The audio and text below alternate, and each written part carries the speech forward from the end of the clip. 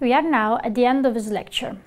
In this lecture, we have learned the concept and assumption at the basis of the intrusion detection, and how an IDS internally works.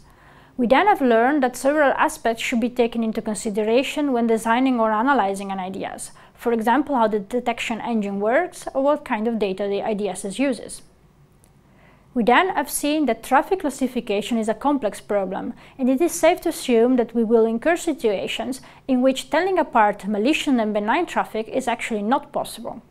This means that IDSs will make classification errors. We have seen how to quantify those and how we can evaluate the performance on IDS. Finally, we have reasoned about how IDS needs tuning to adapt to a different network traffic.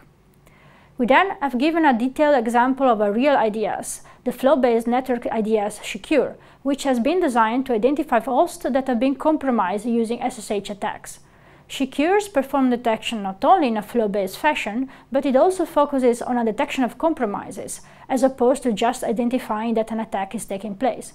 SSHCures shows the feasibility of flow-based intrusion detection, but it also points out that detailed domain knowledge is fundamental.